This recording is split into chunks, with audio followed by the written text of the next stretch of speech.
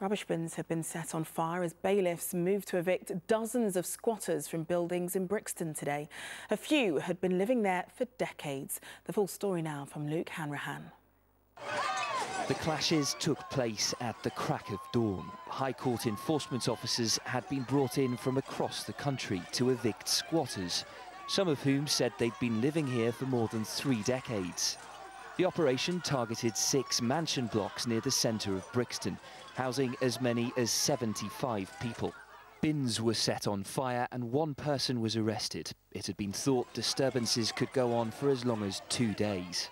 But by lunchtime, the violence was over. There have been high-profile clashes between squatters and police in this part of Brixton in recent years, but today just one person was arrested.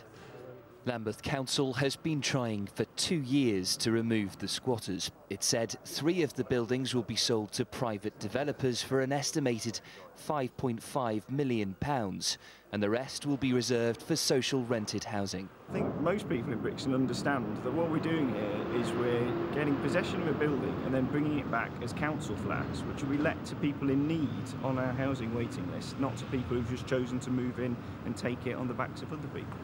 The money raised from the sale of the flats is due to be invested in projects across the borough, including new schools and housing. Luke Hanrahan, ITV News, Brixton.